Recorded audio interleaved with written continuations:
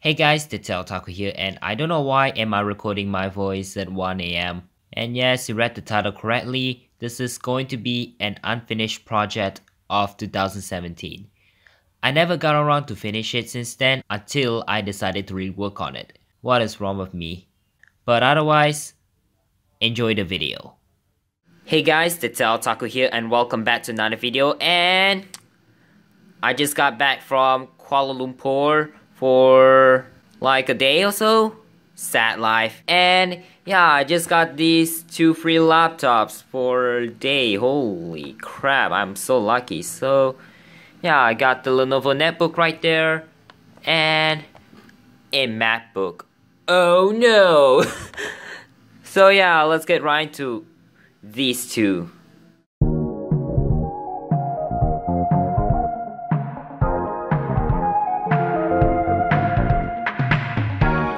Oh yeah, which one should I go first? Okay, Lenovo netbook first. Let's move that aside. And here's a MacBook Air, just in case you're wondering. this right here is the Lenovo IdeaPad S10-2. Right there, S10-2. But yeah, this is like the um, predecessor to the my existing one, the Lenovo IdeaPad S10 III. S10 this one's S10 2. Yep. The S10 2, it had a power button on the palm rest, but on the S10 3, there's a power button on the screen bezel. it's a funny placement for the power button, at least for me on this Lenovo netbook. Uh, this was given to me for free just because there is something wrong there. Yup, you guessed it, the screen is cracked. I think someone dropped it or something like that. I have no freaking clue what's going on there. Some stuff are yellowed, especially the keyboard, the uh, top thing, and the uh, screen bezel. They left this, this sticker right there. So I'm gonna go ahead and peel it off. So I'm gonna show it right now.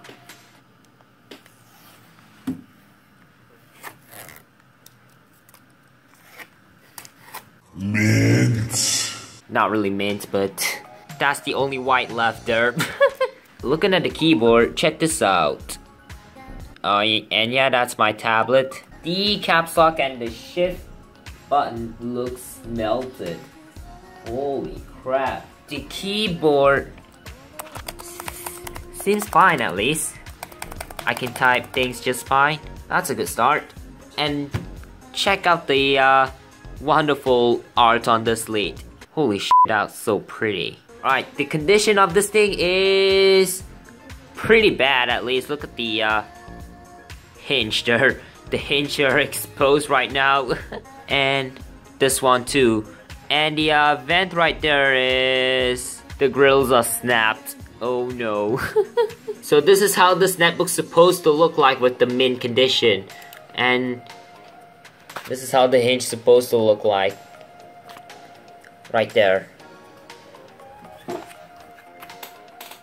It looks different. Lol. Let's check out the ports right there. On the left hand side we have the Ethernet port, the vent, the VGA port, a USB 2.0 ports, and two audio jacks. On the back, nothing except with the battery. On the right hand side we have the AC power port, Kensington lock, two USB 2.0 ports, and of course a wireless switch. On the front there's a uh, indicator lights. And yeah, on the bottom we have the Windows XP COA, I believe. They're all wearing out. the paint is all chipped and now they're, they're just silver cover, lol. On the front we have a 10.1 inch 1024 by 600 and on the top of course we have a webcam there. On the palm rest we have the keyboard with with caps lock and shift button melting down. And we have a power button the uh not sure what button is this and the Lenovo quick start button.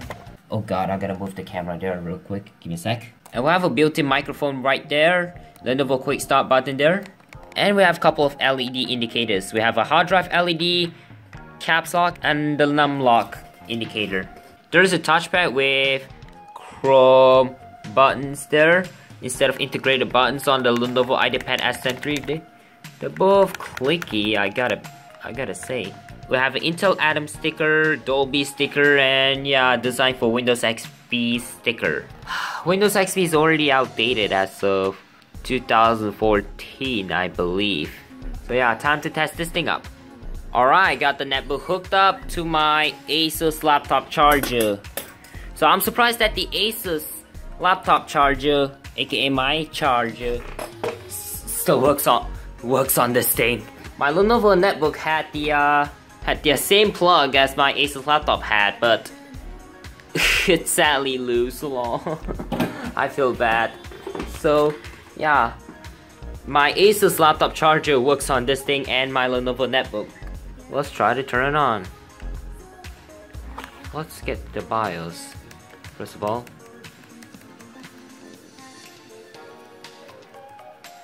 Um,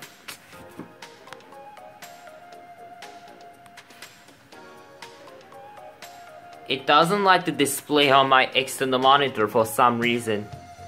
And I don't know what specs of this thing because crack screen. Ripperino. Right.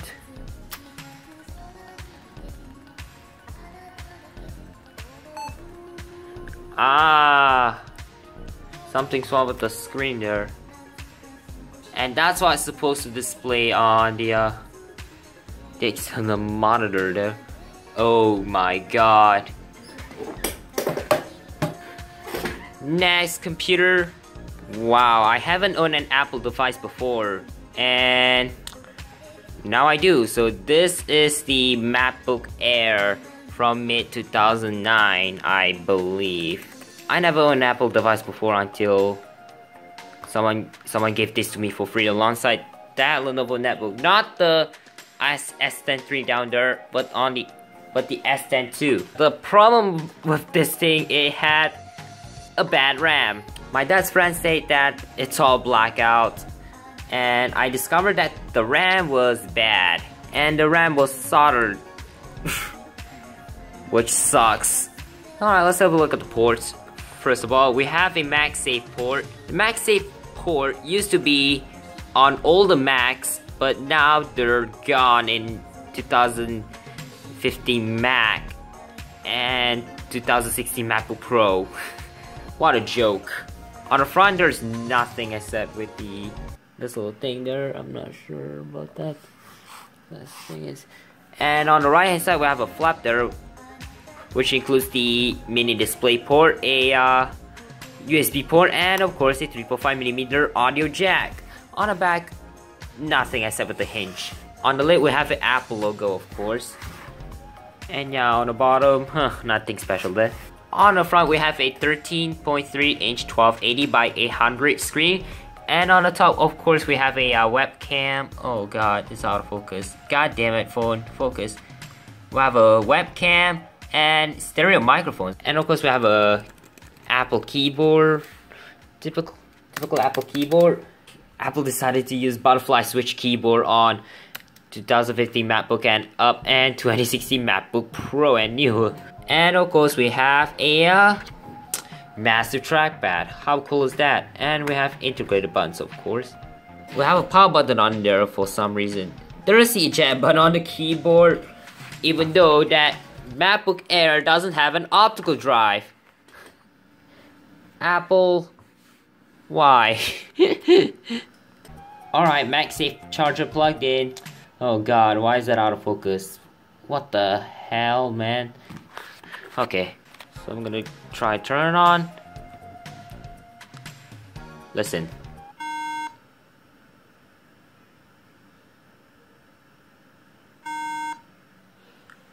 Oh! Shut this up. One beep every five seconds. What that means is that it had a uh, faulty RAM. So yeah, guess that's about it. So, after some troubleshooting with the MacBook Air, the RAM was indeed faulty, which was the reason why it makes a single long beep if I turn it on. I tried to use hair dryer to reflow the solder RAM it boots if I leave it cool down for a while. Of course, this is not going to be a permanent fix. I don't recommend you do this every time your MacBook wouldn't post. After it's still not posting after some hair dryer stuff couple times, I decided to give up with the fix. The Lenovo netbook on the other hand is working but since the screen is smashed, you have to plug it into your external display and call it a usable desktop machine. One of a machine work and other doesn't. So yeah, that's a shame that MacBook doesn't work. But anyways, that's all for two free laptops video that I never got around to finish it two years ago. Thanks for watching this beloved old project.